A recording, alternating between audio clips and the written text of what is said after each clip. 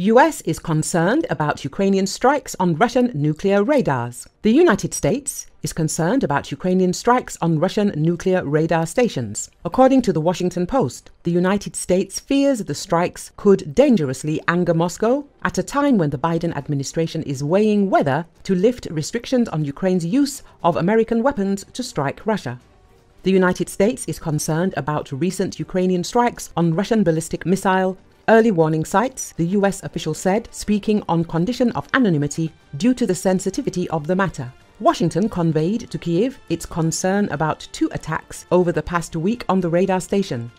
At least one strike in Armavir caused some damage. These sites were not involved in supporting Russia's war against Ukraine, but they are sensitive locations because Russia may feel its strategic deterrent capabilities are being targeted, which could undermine Russia's ability to maintain a nuclear deterrent against the United States, the official said.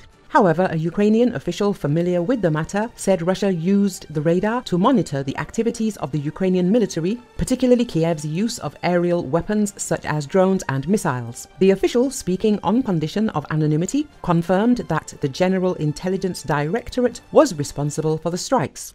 Ukraine faces a constant threat to its existence from Russia, which has recently gained ground thanks in part to its sophisticated radar and weapons jamming technologies. This rendered some Western projectile and guided missile launches useless. The capability has also enhanced Moscow's ability to track British and US provided long range weapons and drones that have caused serious damage to Russia's Black Sea Fleet and military installations in Crimea. The Ukrainian officials said the strikes were aimed at reducing Russia's ability to monitor Ukrainian military activity in southern Ukraine. The drone, which targeted a radar station near Orsk, covered more than 1,800 kilometers. This is a record distance to the attacked facility. A Ukrainian official declined to say whether the strike caused damage.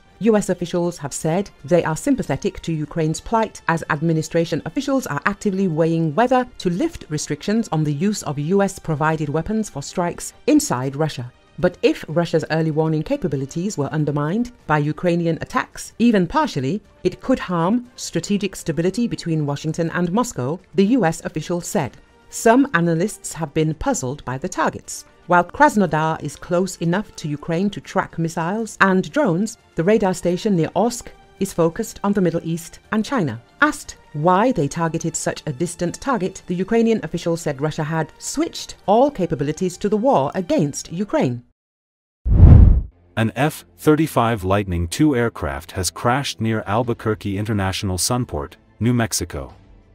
According to KOB 4, the pilot would be conscious and breathing and has been taken to the hospital. Though the F-35 is flown by the Air Force, Navy and Marine Corps, the F-35B was a development test aircraft owned by Lockheed Martin, a defense official said.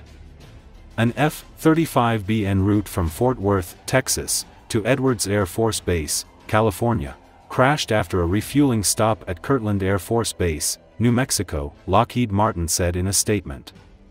The pilot safely ejected. Safety is our priority, and we will follow appropriate investigation protocol. Two civilians were also assessed at the scene, but did not require transport to a hospital. Jason Feger, a spokesperson for Albuquerque Fire Rescue, said that multiple agencies responded to the crash. The plane went down near the airfield on the south side of the Sunport, the airport reported on social media.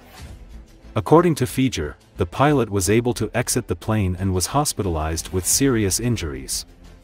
The pilot was last reported to be in stable condition at the University of New Mexico Hospital, the Kirtland spokesperson said. Aerial footage from KOB TV showed local firefighters dousing the wreckage. Fire crews were able to extinguish the blaze, Feger said.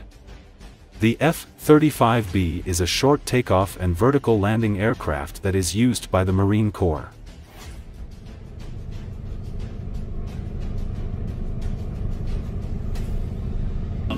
It'll be just a few minutes as soon as we get further information, uh, we'll pass along, but uh, we might be sitting here for a few minutes now.